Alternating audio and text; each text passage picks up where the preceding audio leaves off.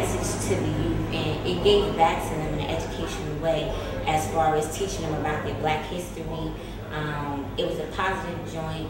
It actually kind of gave a message to the kids, letting them know, like, I know I can be what I want to be.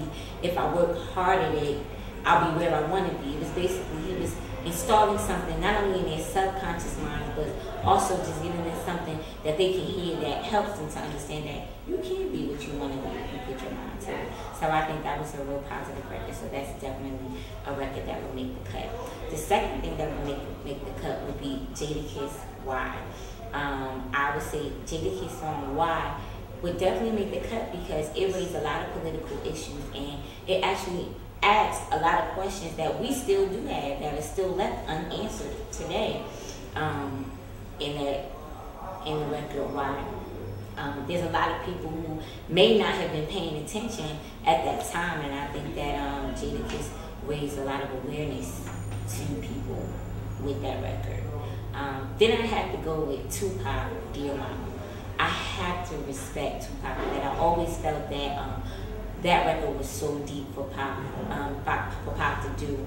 Um, he stayed away from the Who Shot You in this type of record, and he actually paid respect to his mother. So it was like um, you, you kind of understood what he was going through. That you know his mother um, was responsible for his son, uh, his brother actually being a crap baby or what have you. But at the end of the day, he still had respect for her because of the struggle that she went through in order to, um, you know, still make ends meet at the end of the day, even though she was on drugs or what have you. The fourth joint, I would say Eminem Mockingbird. I'd say Eminem Mockingbird because um, Eminem Mockingbird would make the cut. It's like, again, that song actually gave you his story. It explained to you what he was going through as far as his divorce with Kim. Um, it, it gave you how he felt about his daughter, how deeply he felt about Hailie. Um, it basically allowed you into his personal life about um, you know how Kim was locked up and he understood what Hailie was probably going through, being that he was never home and he was trying to his job was to put food on the table for them and things like that. So that song really, really would definitely make the cut because I'm sure it touched a lot of hearts in an emotional way. And last but not least, I have to give at least one lady the cut on on my five cut CD. And ladies, I'm gonna have to go with MC Lyte Paper Thin. It was like that whole when you say love me, it doesn't matter. It goes through my head. It's just chit chatter.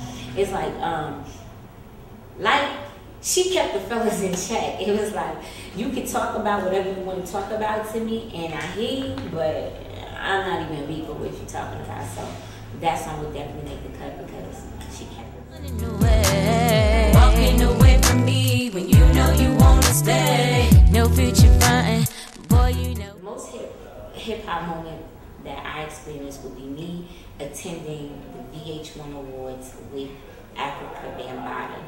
Um, the VH1 Hip Hop Awards, I mean, I'm sure that was an incredible moment for everybody that was in the building.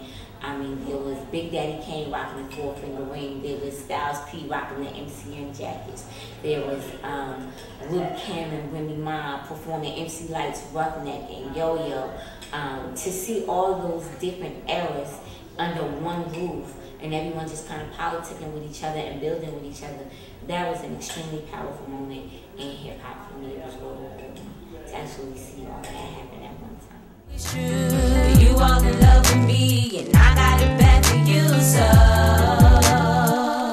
you know you. Well, I would say that I look hip hop on a daily basis, being that um, first I'm, I'm an artist, and then not only that, it's like um, the way that I think, you know. Um, again, we have to keep in mind hip hop is a culture. And it's like when I wake up in the morning, the first thing that I do is turn on the radio. And what is it that you listen to on the radio is hip hop. So when I get dressed in the morning and I throw my hair on, I mean, this ain't too corporate. So this is probably hip hop. So um, I love hip hop. I mean, every day, like, it's a part of me. And It is who I am. I love it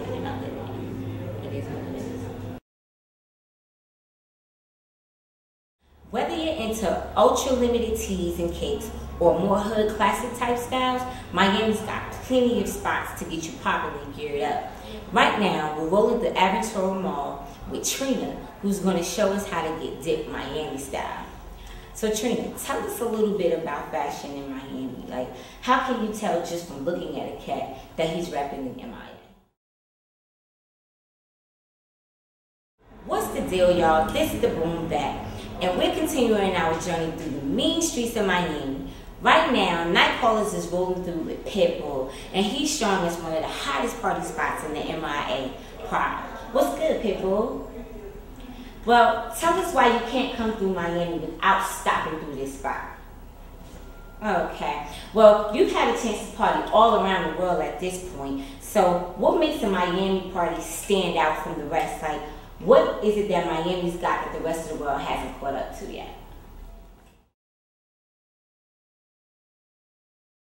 All right, the moment you've all been waiting for. It's time for Concrete Spit.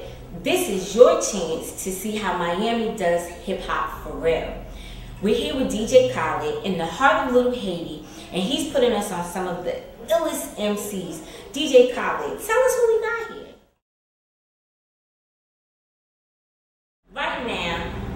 kicking it on Star Island, one of Miami's most exclusive neighborhoods, home to Shaq, Puff, Sly Stallone, and the man right here, producer extraordinaire Scott Storch.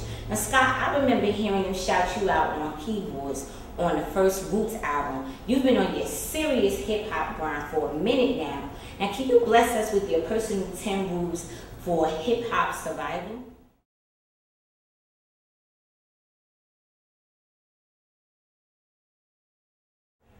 Give us one or two sentence ad libs to the following topics. The record sales between Kanye and 50 Cent. Kanye and 50 Cent going toe to toe brings excitement in the hip hop world again. Um, they're the two hip hop geniuses are two powerful people that have two completely different styles, and may the best man win. The global expansion of hip hop, especially in Japan.